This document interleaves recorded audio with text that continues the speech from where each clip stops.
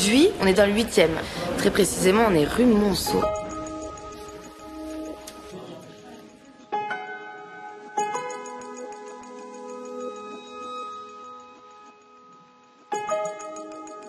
Allez, allons-y, s'il vous plaît. On se met en position de départ. Tu verras se diriger vers toi le, la juge et la- euh, l'avocat. À peine tu le vois pour lui demander. Mais c'est ça, que tu vas demander à Paul ce qui se passe. Ouais. La grosse séquence de la journée, c'est la fameuse séquence où Roxane rentre chez elle et euh, il y a une perquisition qui est en train d'être euh, faite. Moi, ce que je veux, ça, je, je là, là c'est une réaction hyper violente à ce qui se passe. Ouais. C'est une scène qui monte un petit peu euh, dans les tours. C'est pas, tu lui dis, attendez, vous pensez que ça va se passer comme ça? Vous êtes chez moi En train de perquisitionner, là euh, Mais je suis chez moi, putain, je peux prendre des fringues, non? Je suis chez moi, oui ou merde Il y a le ton qui hausse un petit peu. Monsieur Bauer, s'il vous plaît, monsieur Bauer. Je suis chez moi, oui ou merde Mademoiselle, s'il vous plaît, calmez-vous. Madame, s'il vous plaît. Pardon, madame, vous vous calmez, s'il vous plaît, vous êtes avocate, vous connaissez exactement la procédure. Quand on est scénariste, on cherche toujours à savoir qu'est-ce qui va provoquer le mouvement du héros ou de l'héroïne. Et le mouvement MeToo m'a permis en fait de mettre mon héroïne en mouvement. coupé. Équipe, merci.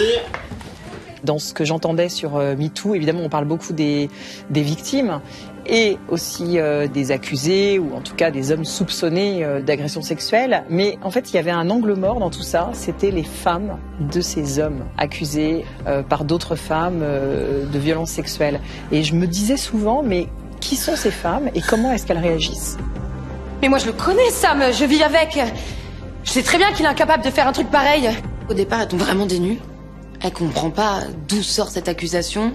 Elle l'en croit vraiment pas capable. Elle n'y croit pas un seul instant. Mais à la fois, tu vois, il y a un peu ce truc de y a pas de fumée sans feu, quoi. Au fond de vous, il n'y a pas comme un, un petit warning qui clignote dans votre tête. euh, Et je voulais vraiment jouer ça, cet effondrement intérieur. Et le fait que euh, elle ne sait plus. Je n'ai pas violé cette fille. D'accord? Je te le jure. Elle va être interrogée comme témoin. euh, et c'est là, petit à petit, qu'elle va se retrouver confrontée à des faits, des éléments du dossier qui vont l'éclairer sur le personnage de son mari. Je l'ai trouvé dans la voiture de mon mari. Et bien sûr, j'accepte d'être témoin. Le non-lieu m'intéressait beaucoup parce qu'un non-lieu, ça veut dire on ne sait pas. Là, en fait, la justice dit on n'en sait rien.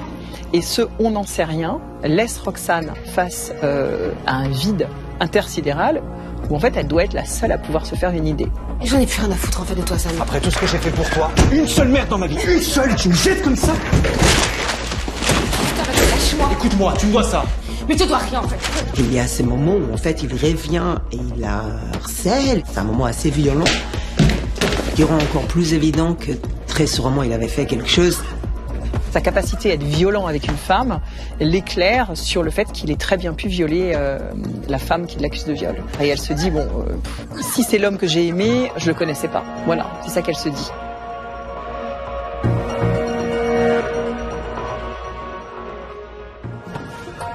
Bats-toi. Protège-toi. Tu vas y arriver. C'est un personnage complexe, hein, le personnage de Roxane. Elle est faite de strates. Elle, est, elle vient de la banlieue, elle est chic et moi ce que je voulais aussi la rendre chic aussi dans son huitième là. Mais t'es stylé toi encore aujourd'hui. La dernière fois t'es stylé, aujourd'hui t'es stylé. Voilà. Je voulais aussi donner beaucoup de fantaisie à ce personnage, pas le figer dans son métier d'avocate. Je voulais qu'elle aime la mode, euh, je voulais qu'elle euh, aime le futile. Me dis pas que t'es allé à la boulangerie avec ses pompes. Ben quoi, qu'est-ce qu'elles ont mes pompes? Bah, ça fait meuf du 16, quoi. C'est une femme forte qui se bat. Qu'est-ce que c'est? Ma démission. Toute la, la nouvelle vie qu'elle a voulu se construire, tout s'écroule du jour au lendemain. Et euh, à côté de ça, tout son passé qu'elle a toujours voulu fuir lui revient comme un boomerang en pleine gueule. Je le sors souvent cette expression, mais pour moi elle est vraie. C'est euh, chasser le naturel, il revient en galop. Est-ce que c'est clair? Ah, Par contre, je t'explique, tu redescends tout de suite, ok? T'es une ouf, toi, de me, elle est ouf de me parler comme ça. Parfois, ça sort comme des irruptions, le fait qu'elle soit transfuge là. Elle peut descendre se battre dans la rue, cette fille, alors qu'elle est habillée en Dior. Et toi? Quoi, moi? Euh, Qui qui te défend? S'occupe. Je me défends toute seule.